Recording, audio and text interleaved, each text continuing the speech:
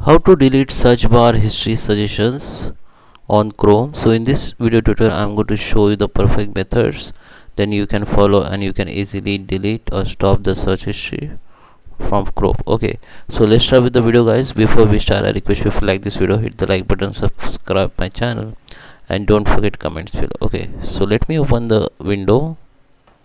Okay. This is my google account. Uh, this is my chrome browser. Here you can see i have searched something here it is show me in suggestions. So i can delete one by one if you want. I can delete it. Okay. If i click on this into button then it will be deleted from here. And now it won't be come here again. Okay.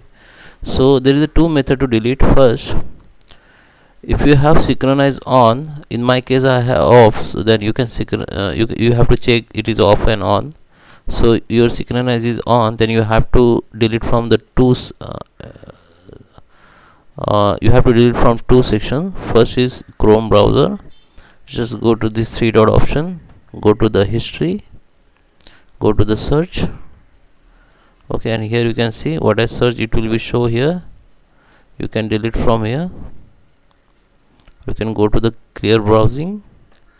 And here you can set the time set or you can delete all time. Okay. You can you have to just select the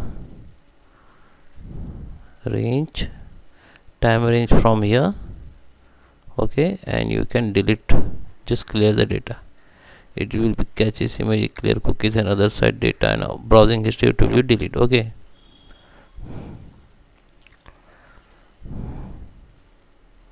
Or you can also delete only browsing history okay just delete the browsing history and clear it. So now if I check there is no there is a no search suggestion okay? Because I have deleted it. Okay so you have to check is uh, if your uh, and the synchronize is on or off. It, if it is on then your deleted suggestion or history will be come back from your backup from google account.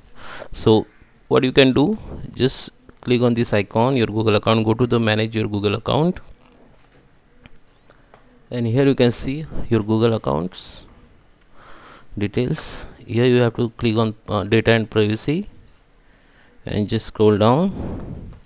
And here you can see the web app and activities. I have paused my web and activities but if it is uh, on in your case by default which is on just click on it. So i have turned off my uh, you know activities. So if you want to turn off just you can turn off from here okay? Now if you want to see the all activities you can see uh, all activities or you can also select the like google product like google search google chrome and google ads whatever. I just view all. So here you can see my all activities here. Okay so what what i can do i can delete from here. I can delete all time.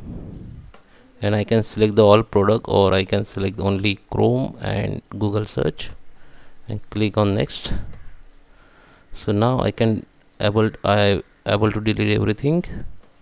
Okay so you can also see your local history and your chrome history. So just click on got it. Now I had deleted everything. Okay so now if I come to the Google again there is a no search history or search history suggestion on this search bar. Okay. So do uh, so you need to this check the two uh, things. One is the chrome history and second is your google account activities. Okay. So i hope you like this video. Please subscribe me. Thank you for watching